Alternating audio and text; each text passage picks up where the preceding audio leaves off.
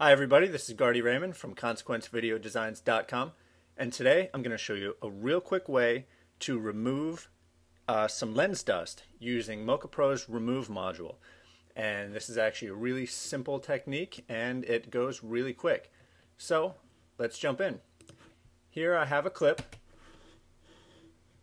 and you'll see as it plays through there's lens dust on the left hand side. Might be a little difficult to see. Let me stop it right here. And there's some lens dust right here, right here, and right here. There's a little triangle of it. So I scrub back and forth. Let me play again. We got some lens dust in that shot, and we really want to get rid of that because it doesn't look good.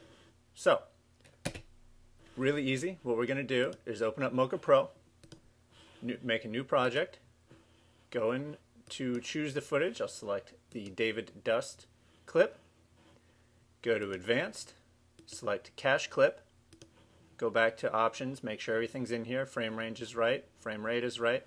Mocha does a really good job of interpreting the footage when you bring it in, but you just want to double check to make sure everything's right. Select OK, yes. wait for it to cache in up here on the right.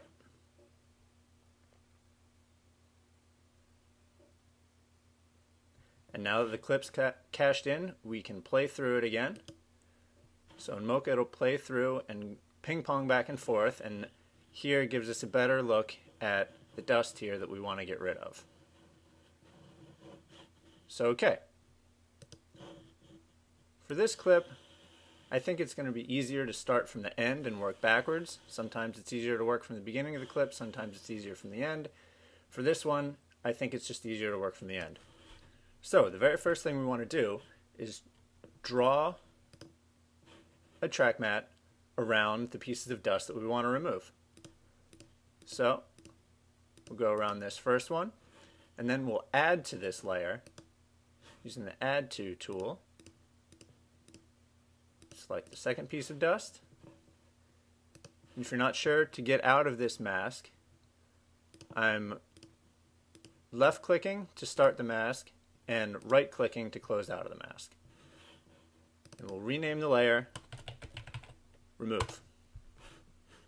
Alright, now unlike doing a remove like you may have seen before where the object that you want to remove is actually moving in the frame and you need to track that, lens dust is pretty easy because it doesn't move. It's stuck on the same place in the frame throughout. So when we play through this, you'll see this isn't even tracked, but it's keeping the area around the lens dust in the same place because the dust isn't moving. So we need to uncheck the gear icon so these three pieces don't get tracked. If we leave that on when we do the track for the background, Mocha is going to attach to all the rest of the pixels in these areas and it's going to drift off of the dust and that's not what we want. So let's go back to the end and create a new area to track the background. Now you want to make sure the area that you track covers up the areas that you want to remove. And also, just like doing a regular remove, you want to make sure that the background track layer is below the foreground object that you want to remove. Works the same way there. So we'll just rename this BG for background. Now the one thing we're going to have to look out for when we do the track here is this guy on the bicycle as he comes through, he's going to kind of intersect this area. And then as the camera pans back to the right, since we're going backwards, the track area is going to drift past where the lens dust is in the shot. So we're going to need to adjust this track as it goes through. So we'll just go back a few frames. Now as he gets close, let's drag this back a little bit. Turn off the magnify window so it's not in the way.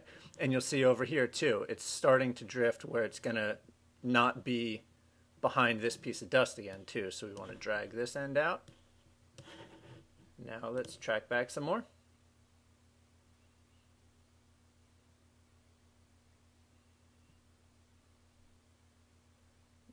As the camera starts to move, you'll see this is going to, it does what Mocha does. It attaches to this area and it wants to stay where it is, which is great, but for our purposes here, we need to make sure that everything is covered up. So let's drag the track area a little bit farther out and keep tracking back.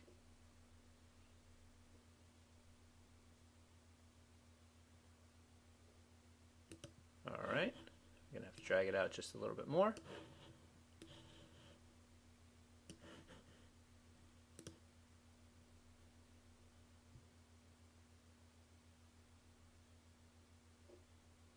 All right. So as we scroll through, you'll see the three points that we want to remove stay encompassed within the background track the whole time.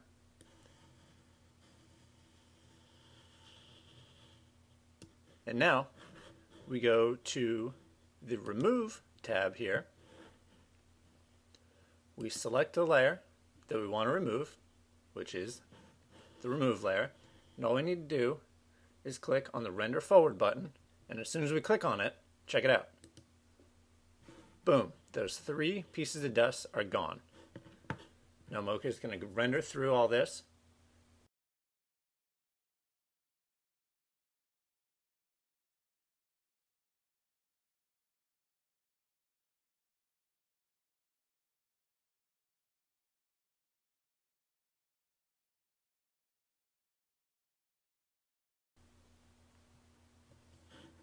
And now that it's rendered through, we can deselect these and we can uncheck the overlays. So now we see these three pieces of dust that were there are gone. If we play through, gone.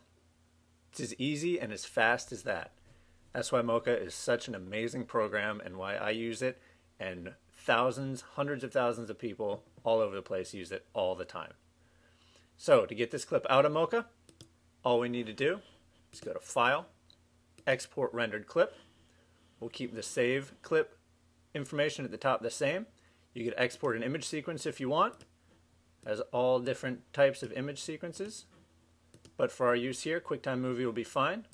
We'll choose we want to export it to. I'll call it David Clean. The original was David Dust. Click OK. The QuickTime export settings come up. I'll you can export whatever codecs you have on your computer. I'm going to export ProRes. OK. And now it's exported. Now we can go back to our folder and look at our original with the dust. And then to the one that, that Mocha just rendered out. No dust. Beautiful. So that's it. Quick tutorial today. Hope you learned something. Feel free to ask any questions. My name is Gardner Raymond for ConsequenceVideoDesigns.com. Thanks again for checking it out. We'll see you later.